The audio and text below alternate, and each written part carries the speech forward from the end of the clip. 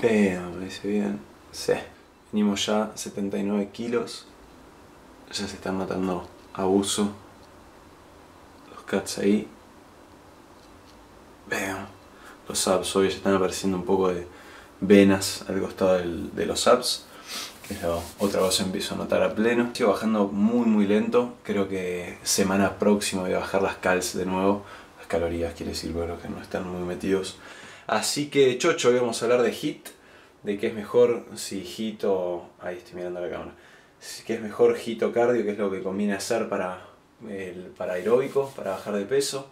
Este, y qué es lo que hago personalmente. Así que, let's fucking go. Bien rápidamente vamos a hablar de diferencia entre el HIT y el aeróbico tradicional, el continuo, el que todos estamos generalmente acostumbrados a hacer. ¿Qué es HIT?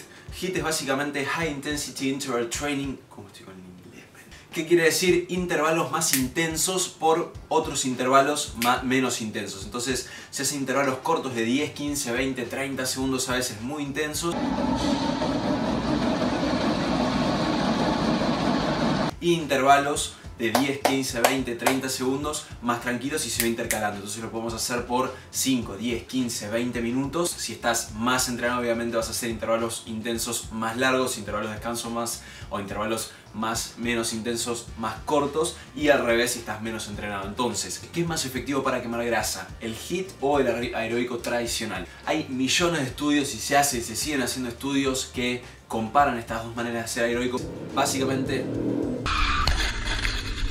Básicamente lo que se dice del HIT es que segregamos más catecolaminas, que es, es una hormona que básicamente acelera el- la transformación de la grasa en ácidos grasos. La grasa se transforma en ácidos grasos y después esos ácidos grasos se combinan con oxígeno y otras cosas y generan energía. El HIT lo que proponen es que acelere ese proceso. Y de esa forma obviamente gastamos más grasa porque estamos transformando esa grasa en energía. Y otra cosa que se dice del HIT es que después de haber terminado una sesión de HIT de 5, 10, 15, 20 minutos, lo que sea que hayamos hecho, como es mucho más intenso de ser aeróbico normal, después para recuperarnos vamos a seguir gastando energía, entonces por ende vamos a sigue siendo más efectivo una vez que terminamos de hacer el entrenamiento en sí. Entonces, ¿Qué pinchila hacemos? Básicamente no importa qué es lo que hagas, solamente va a importar una sola cosa, que es la consistencia. Elijas hacer HIT 15 o 20 minutos o elijas hacer cardio media hora, cardio normal, media hora, 40 minutos, 50 minutos, lo que importa es que elijas algo que puedas mantener en el tiempo. Mismo puedes combinar los dos, hacer a veces HIT, hacer a veces cardio. Personalmente lo que yo hago es, si hago cardio normal, hago media hora. Si hago HIT, hago 15 o 20 minutos y no hago intervalos cortos de 15, 20, 30 segundos y 10, 15, 20, 30 segundos de descanso, sino lo que hago es hacer 5 minutos bastante intensos de saltar la soga, 5 minutos caminando en la cinta, 5 minutos trotando en la cinta y 5 minutos de nuevo haciendo soga. Y eso a mí personalmente es lo que me sirve para mantener la consistencia. Cuando estoy con pocas ganas de hacer aeróbico normal, meto hit y me divierto un poco más haciendo eso. Cuando estoy más cansado, estoy más letárgico y no estoy para hacer hit, hago el otro. Consistencia es lo que te tenés que llevar de acá. No te vuelvas tan loco o loca pensando hit y esto y aquello y eh, en los pequeños detalles. La consistencia va a ser siempre lo más, lo más importante. Y ahora nos vamos un pequeño rant en el auto que espero que te sirva. ¿Estás? Sí. Ok. La realidad, men, es que para mí es fácil. Es fácil el fitness, es fácil entrenar, es fácil comer bien, es fácil no, no comer cosas que no tengo que comer para, para lo que quiero alcanzar, porque lo vengo haciendo hace mucho tiempo. Y naturalmente tiendo a eso, naturalmente desde muy pendejo que hago fitness y hace mucho tiempo lo vengo haciendo, ya no me cuesta hacerlo. Cuando no estás en esta situación, cuando no estás hace 8 años que haces fitness, hace 10 años que haces fitness, te va a costar, la vas a pasar mal.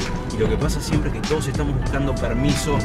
Voy a comprar este programa, no, ahora tengo que empezar con un personal trainer, no, ahora si agarro esto y empiezo a cambiar esto, podría hacer esto, o le preguntamos, ¿y qué podría hacer con esto? Y la realidad es que lo único que estamos buscando es permiso, porque ese permiso nos hace sentir más cómodos para salir de nuestra zona de confort. Cuando tenemos que salir de ahí, hay tantas posibilidades que no sabemos qué hacer, pero en el fondo sabemos qué tenemos que hacer.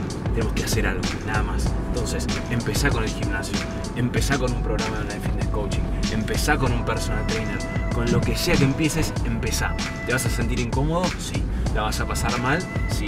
¿No vas a ver resultados? Quizá no. Quizá sí. ¿La vas a pasar bien? También la vas a pasar bien. Pero lo que sí o sí te va a pasar es que te vas a sentir incómodo. Siempre va a pasar. Como a mí me pasa con los videos de YouTube. Hacer esto para mí, que estoy haciendo ahora, no es cómodo. Que me costó. ¿Y qué cámara me conviene comprar? ¿Y cómo me conviene hacer el video? ¿Y de qué voy a hablar? Y, y agarrá y hacer un fucking video de YouTube. No importa cómo sale, no importa lo que digan los demás, no importa, hacelo. Y eso es lo que quiero transmitir en esto. Fucking hacelo. Fucking empezar en el gimnasio, empezar lo que tengas que empezar, pero empezar a hacer algo.